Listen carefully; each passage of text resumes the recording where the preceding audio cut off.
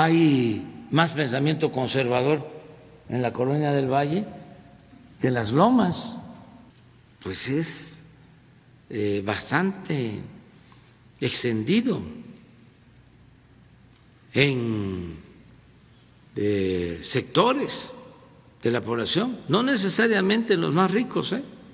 también en sectores de clase media, aspiracionistas. Hay más pensamiento conservador en la colonia del Valle que en las lomas. Por ejemplo,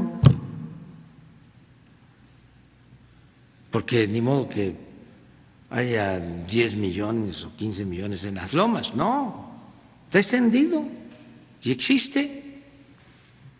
No son, afortunadamente, mayoría, porque el pueblo este, no está de acuerdo con ese pensamiento que es sinónimo de egoísmo, de individualismo, también de corrupción, de clasismo, de racismo.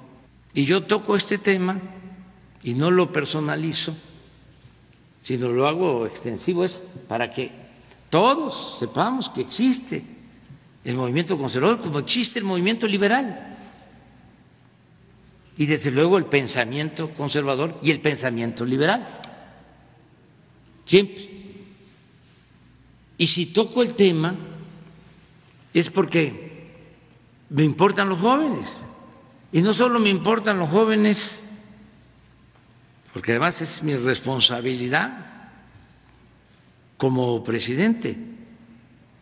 No solo me importan los jóvenes de familias liberales, me importan todos los jóvenes.